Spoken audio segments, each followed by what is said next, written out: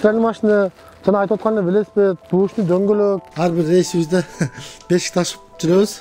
Москвадан качан келет ол бешиктер ким билет? Бекзат адаттагыдай ишке киришти.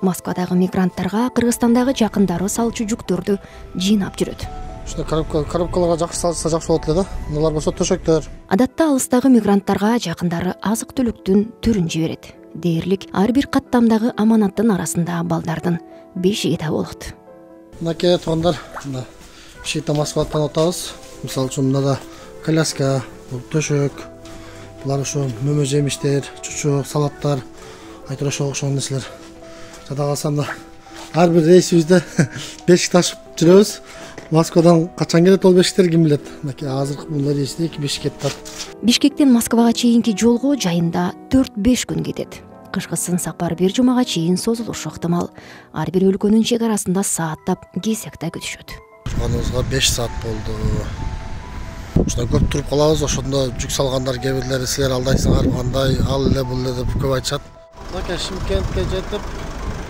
машинабыз бузулуп азыр диагностика кылдырып атабыз болжогондой эле бекзат жети күн дегенде москвага жетип барды.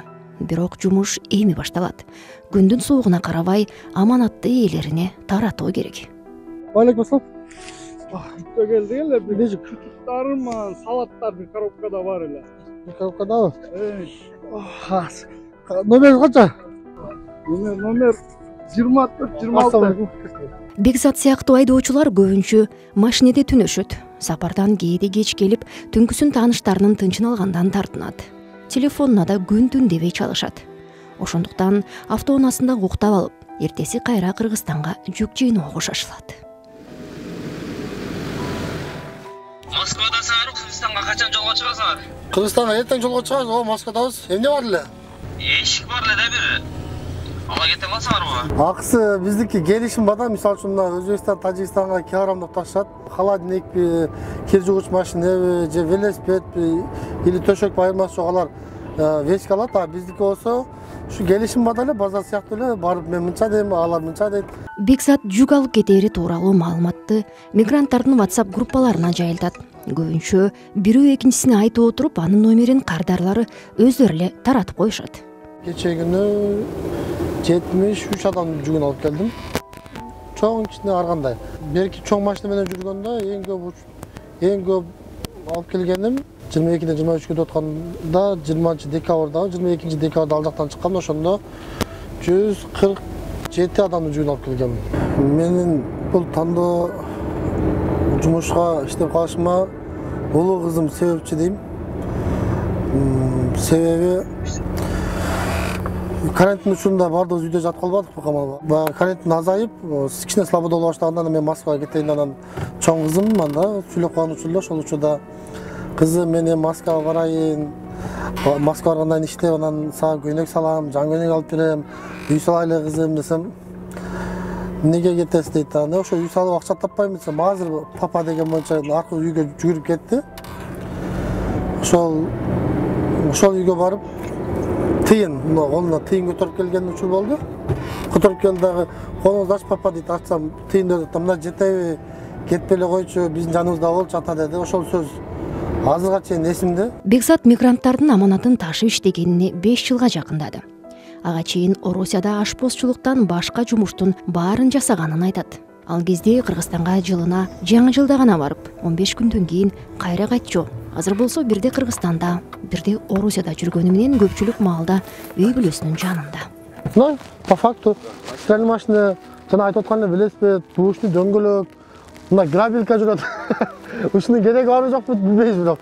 Кыргызстанда да арзан болсо керек э мына телевизор эң үстүнө коюлуп турат азыр эми муну дагы иреттейбиз дагы эмнелер бар? Эски кусу кийимдер ушул.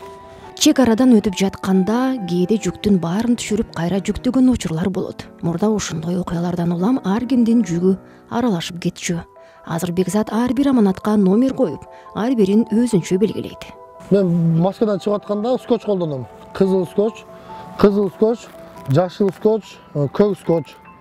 Кызылым бишкек жашылым жалал абад көгүм ош бишкекке барып жүктөрдү полностью иреттеп чүйгөндө айтам э кызылды бул жака койгула бул бишкекте калчулар мына жашылды бул жерге койгула бул жерге көктү койгула кайра ошко жолго чыгып атканда биринчи көктү кылайлы ал машинанын алдында турсун. А жашылды артына коебуз жолдо нока то есть нокен кошкор ата шамал сайга таратып кеткенге удобный болот деп ошентип мен жеке ошондой үскөчтөрдү колдоном. Чек араларда автоунааларды рентген менен текшерип өткөрүшөт. Ошондуктан айдоочулар тыюу салынган нерселерди алуудан баш тартат жүктү алып жатканда ар бир баштыкты ачып текшерүүгө такай эле мүмкүнчүлүк боло бербейт. Ээлерин эскертишкени менен кээде шек жараткан буюмдар болуп калат. Подозрение чыгып калган болсо доскональный осмотр деп түшүртөт ошол нерсени издейт. Эми ал издегени рентгенден чыкканы бал болуп калышы мүмкүн. Ушу варенье салаттар чыгып калат кара кара болуп.